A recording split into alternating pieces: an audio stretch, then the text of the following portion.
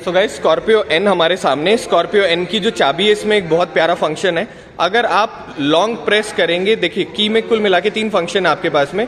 Long unlock और boot open करने के लिए। अगर आप अनलॉक को कंटिन्यूसली प्रेस करके रखेंगे तो होगा क्या? शीशे और ऊपर की सनरूफ अपने आप नीचे आ जाएगी, जो कि बहुत अच्छी चीज़ है। यहाँ बहुत ज़्यादा, जहाँ पर भी प्रदेश में गर्मी पड़ती है, वहाँ के लोगों के लिए बहुत अच्छी चीज़ है। अगर आप इसको लॉक बटन को लॉन्ग प्रेस करके रखेंगे तो होगा क्या? वापस जो शीशे और सनरूफ है, वो वापस रोल डाउन होकर ऊपर आ जाएगी। स्कॉर्पियो एन से रिलेटेड या बाकी किसी भी गाड़ी से रिलेटेड ऐसे ही व्लॉग्स को देखने के लिए चैनल को सब्सक्राइब करें।